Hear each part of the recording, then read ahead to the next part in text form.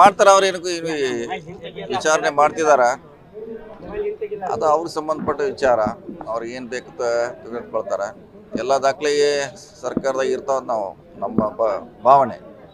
ಈಗ ಸರ್ಕಾರ ದಾಖಲೆ ಎಲ್ಲಿಯೂ ಹೋಗ್ಲಿಕ್ಕೆ ಅವಕಾಶ ಇಲ್ಲ. ಸುರೇಶ್ ಬೈರತಿಯವರು ಏಕಾಏಕಿ ಪ್ರೈವೇಟ್ ಜೆಟ್ ಮಾಡ್ಕೊಂಡು ಹೋಗಿ ಅಲ್ಲಿದ್ದಂಥ ದಾಖಲೆಗಳನ್ನೆಲ್ಲ ನಾಶ ಮಾಡಿದಾರೆ ಅನ್ನೋ ಆರೋಪವನ್ನು ಎಚ್ ಡಿ ಕುಮಾರಸ್ವಾಮಿ ಹೇಳಿದಾರೆ ಕರೆ ಅದು ಪ್ರೂವ್ ಆಗ್ಬೇಕಲ್ಲ. ಅದು ಇಡಿ ಅವ್ರ ತನಿಖೆ ಆದ್ಮೇಲೆ ಗೊತ್ತಾಗ್ತೈತೆ. ಅಲ್ಲಿವರೆಗೆ ನೋಡೋಣ ಏನು ಅರ್ಜೆಂಟ್ ಏನು. ಸರ್ ಇಡಿ ದಾಳಿಯಿಂದ ಸಿಎಂ ಅವರು ರಾಜೀನಾಮೆಗೆ ಸಾಕಷ್ಟು ಒತ್ತಾಯ ಏನು ಇಡಿಗೂ ಅದಕ್ಕೆ ಏನು ಸಂಬಂಧ ಏನು ಅವ್ರ ಮ್ಯಾಗ ದಾಳಿ ಮಾಡಿದಾರೆ ಮೂಡ ಮ್ಯಾಗ ಮಾಡಿದ್ದಾರೆ ಮೂಡ ಎನ್ಕ್ವೈರಿ ಆಗ್ಬೇಕಲ್ಲ. ನಮ್ದು ವಾದ ಇದೆ ಆಗ್ಬೇಕಂತ ಇದೆ. ಆದ್ಮ್ಯಾಗ ನೋಡೋಣ ಇನ್ನೂ ವರದಿ ಬರಲಿ. ದಾಳಿ ಮಾಡಿದಕ್ಕೆ ಅದಕ್ಕೂ ರಾಜಿ ನಮಗೆ ಸಂಬಂಧ ಇಲ್ಲ. ಸರ್ ಇದರಲ್ಲಿ ಯಾವುದೇ ಹಣದ ವ್ಯವಹಾರ ಇಲ್ಲ ಅಂತ ಹೇಳ್ತಾರೆ ಸರ್. ಇಡಿ ಮೂಡಾ ವಿಚಾರದ ಹಣದ Correct, ವ್ಯವಹಾರ correct. ಇಡಿ ಹೆಂಗ್ ದಾಳಿ ಮಾಡುತ್ತೆ ಅಂತ. ಅದೇ ಪ್ರಶ್ನೆ ಈಗಾಗಲೇ ಅದನ್ನು ಸುಪ್ರೀಂ ಕೋರ್ಟ್ನಲ್ಲಿ ಚಾಲೆಂಜ್ ಮಾಡಿದ್ದಾರೆ.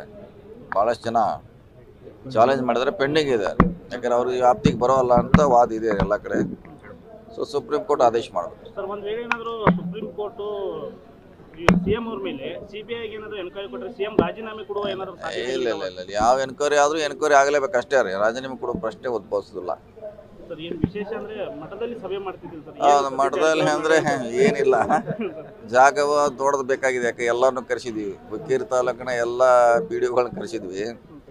ಅಲ್ಲಿ ಜಾಗ ಸಾಲೋಲ್ಲ ಮತ್ತು ಊಟದ ವ್ಯವಸ್ಥೆ ಮಾಡೋಕ್ಕಾಗೋಲ್ಲ. ಎಲ್ಲ ರೀತಿ ಅನುಕೂಲ ಇದೆ. ಪಬ್ಲಿಕ್ ನೋಡ್ತೀವಿ. ಮತ್ತು ಜೆ ಜೆ ಎಮ್ದು ಸಮಸ್ಯೆ ಇದೆ ಭಾಳಷ್ಟು ಪೂರ್ಣಮೆಂಟ್ಲ ಸೊ ಹಾಗಾಗಿ ಹುಕ್ಕೇರಿ ತಾಲೂಕಿನ ಎಲ್ಲ ಪಿ ಡಿಗಳನ್ನ ಕರೆಸಿದ್ವಿ. ಹಿಂಗಾಗಿ ಜಾಗ ದೊಡ್ಡದು ನಡೆ ಹಿಂದೆ ಏನಾದ್ರು tactics ಇರುತ್ತಾ? ಏನಿಲ್ಲ ಏನಿಲ್ಲ. ಆರಾಮಾಗಿ ಕೂಡ್ತೀವಿ ಅದಕ್ಕೆ